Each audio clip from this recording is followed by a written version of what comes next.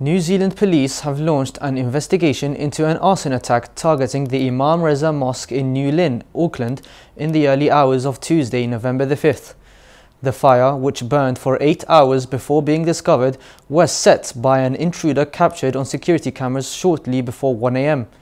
Authorities are exploring potential motives, although they have not yet classified the incident as a hate crime. Mosque officials expressed shock, emphasizing on social media that the mosque represents a place of worship and unity.